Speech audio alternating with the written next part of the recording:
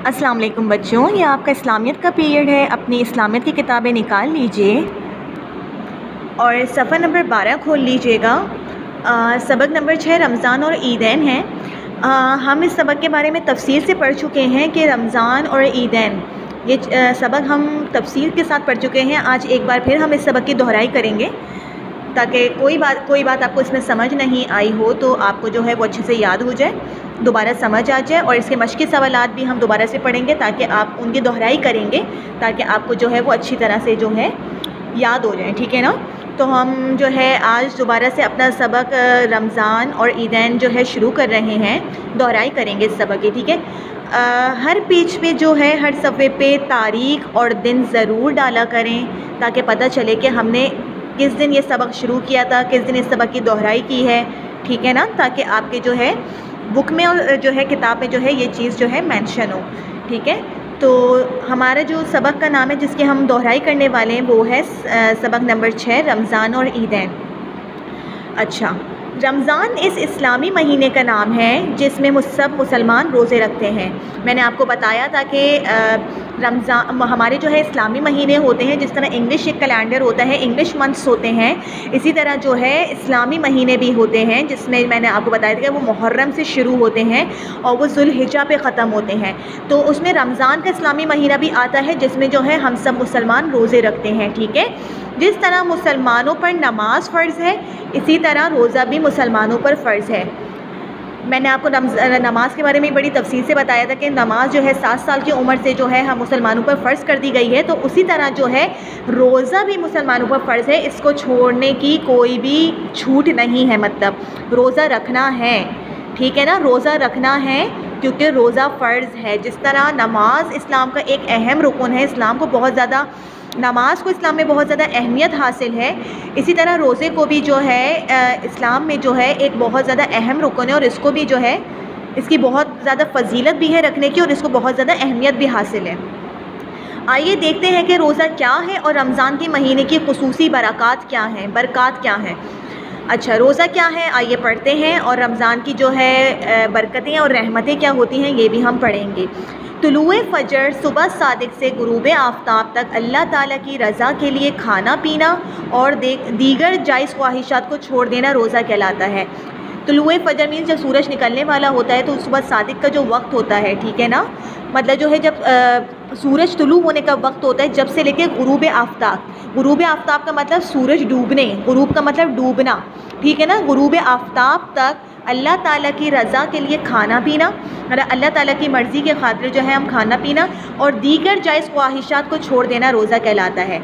मैं आपको तफसील के साथ बता दूँगी कि जायज़ ख्वाहिशात क्या होती हैं, जैसे जो है आपको गुस्सा आ रहा है या आपको कुछ भी खाने पीने का दिल चाह रहा है या कोई भी मतलब बुरी बात नहीं करनी है आपको, कोई भी गलत बात मुँह से नहीं निकालनी है और जो है गुस्सा नहीं करना है तो सही है ना?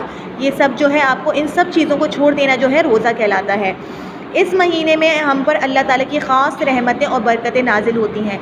रमज़ान एक ऐसा महीना है कि ये एक इतना ख़ास और बरकत वाला महीना है कि इसमें अल्लाह ताला की ख़ास रहमत और बरकतें जो हैं, रहमतें होती हैं और बरकतें होती हैं।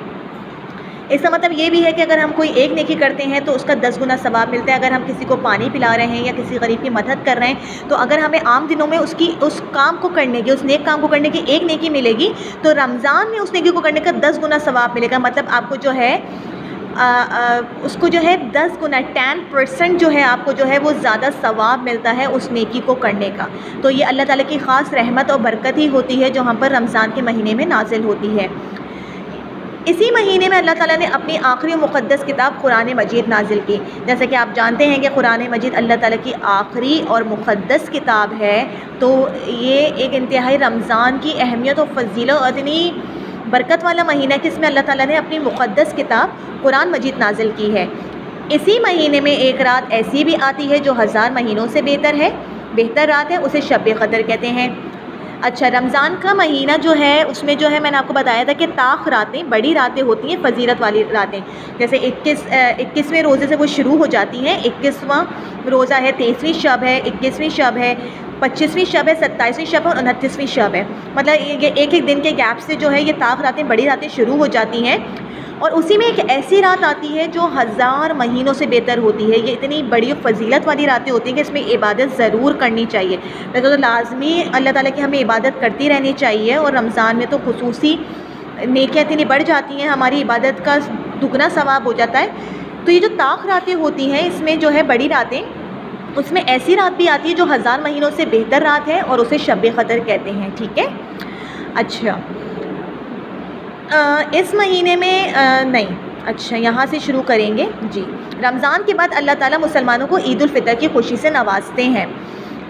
जैसा कि देखा होगा आपने कि रमज़ान जैसे ही ख़त्म होते हैं तो अल्लाह ताला ने हमें तोहफ़े के तौर पर जो है कहते हैं ना कि अगर आप कोई भी काम अच्छा करते हैं तो आपको उसके बदले में कोई गिफ्ट देता है, तोहफ़ा देता है या आप अच्छे नंबरों से पास होते हैं तो आपको उसका प्राइस वगैरह दिया जाता है। तो इसी तरह रमज़ान एक ऐसा बरकत वाला महीना है कि इसके इनाम में, इसकी खुशी में अल्लाह ताला जो मुसलमानों को ईद फ़ितर से नवाजते हैं। ठीक है ना? तो रमज़ान जो है, हमारा जो है, अल्लाह ताला की तरफ़ से इनाम है, तोहफ़ा है और एक खुशी है जो अल्लाह ताला ने हमें ईद फ़ितर की उसमें दी है। ठीक है ना? हज इस्लामी महीने जुल्हिजा में अदा किया जाता है और हज के फ़ौर बाद अल्लाह ताला मुसलमानों को ईद अज़हा की खुशी देता है जिसमें मुसलमान जानवरों की क़ुरबानी करते हैं। अच्छा जुल्हिजा का महीना जो है ये सबसे आखिरी महीना होता है और इसमें जो है आ, इस्लामी महीने में, में जो है इस इस्लामी महीने में हज किया जाता है और इसके फ़ौर बाद जो है अल्लाह ताला जो है मुसलमानों को ईद अज़हा जैसे रमज़ान के बाद ईद फ़ितर की खुशी आती है, इसी तरह जो है हज के बाद जो है ईद अज़हा की खुशी आती है। और ईद अज़हा में क्या करते हैं? जानवरों की क़ुरबानी करते हैं अल्लाह ताला की रज़ा के लिए, क्योंकि ये सुन्नतें इब्राहिमी हैं, ठीक है ना? अच्छा ईद के दिन हम सब अच्छे अच्छे कपड़े पहनते हैं, ईद की नमाज़ अदा करते हैं और दूसरों को ईद की मुबारकबाद देते हैं। ईद की खुशी में आपने देखा होगा, जब ईद का दिन होता है तो हम सब अच्छे अच्छे कपड़े पहनते हैं। ईद की नमाज़ भी अदा की जाती है और ईद की नमाज़ के बाद एक दूसरे को गले मिलकर मुबारकबाद भी दी जाती है। ईद के दिन हमें गरीब लोगों को अपनी खुशियों में शरीक करना चाहिए। इसका क्या मतलब है कि जब ईद का दिन होता है तो उसमें जो गरीब लोग होते हैं, मैंने आपको पहले भी बताया था कि जो अच्छे कपड़े अपने नए कपड़े नहीं बना सकते या जिनके पास जूते नहीं होते, कपड़े नहीं होते या अच्छे मतलब वो खाना पीना नहीं करते तो उसकी आप उन गरीब अपने बहन भाइयों की ज़रूर मदद करें। इससे अल्लाह ताला भी राज़ी होगा और ईद की खुशियों में जो है हमें अपने गरीब बहन भाइयों को ज़रूर शामिल करना है। अच्छा सफ़ा नंबर तेरह पे मशक़ी सवाल की तरफ़ बढ़ते हैं और मशक़ी सवाल में सवाल नंबर एक है, मुसलमान किस महीने में रोज़े रखते हैं? इसका जवाब है कि मुसलमान रमज़ान के महीने में रोज़े रखते हैं। सवाल नंबर दो है, रमज़ान के महीने में अल्लाह ताला ने कौन सी मुक़दस किताब नाजिल की?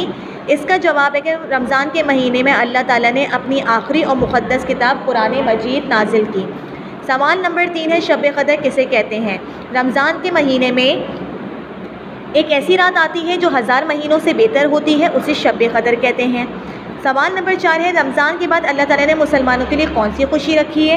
इसका जवाब है कि रमज़ान के बाद अल्लाह ताला ने मुसलमानों के लिए ईद फ़ितर की खुशी रखी है। सवाल नंबर पाँच है, हज किस इस्लामी महीने में आता है? इसका जवाब है, हज जुल्हिजा के इस्लामी महीने में आता है। सवाल नंबर छः है, जुल्हिजा के महीने में मुसलमान कौन सी ईद मनाते हैं? इसका जवाब है कि जुल्हिजा के महीने में मुसलमान ईद मनाते हैं। सवाल नंबर सात में है कि हम ईद का दिन कैसे, हम सब ईद का दिन कैसे मनाते हैं? इसका जवाब है कि ईद के दिन हम अच्छे अच्छे कपड़े पहनते हैं, ईद की नमाज़ अदा करते हैं और दूसरों को ईद की मुबारकबाद देते हैं। सरगर्मी में कह रहे हैं कि दी गई जगहों, दी गई जगह पर अखबारों में से ईदैन के बारे में तस्वीरें काट कर चस्पा कीजिए।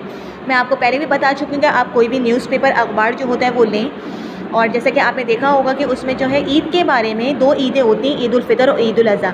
तो आप जब जो ईद फ़ितर में जो है गले मिलकर मुबारकबाद दी जाती है अच्छे अच्छे कपड़े पहन के जाते हैं, पहने जाते हैं तो उसके बारे में जो भी तस्वीर हो, आप वो यहाँ पर इस खाने में चस्पा करेंगे और ईद अज़हा में जब जानवरों की क़ुरबानी आपने देखा होगा कि हो रही होती है तो उसके बारे में, ईद अज़हा के बारे में तस्वीर जो है इस खाने में चस्पा करेंगे।